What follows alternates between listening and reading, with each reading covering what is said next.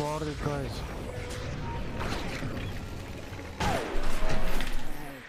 Oh, nice try. Will I die Alex? Oh my god, how did that shackle me even? Ah, it's perfect chain stun. Perfect chain stun. Literally perfection. Perfection on all of that. Everything was perfect. Perfect uh, shackle into frame perfect uh, ulti as well. Holy shit, that's insane actually. That was insanely fuck. What the fuck was that?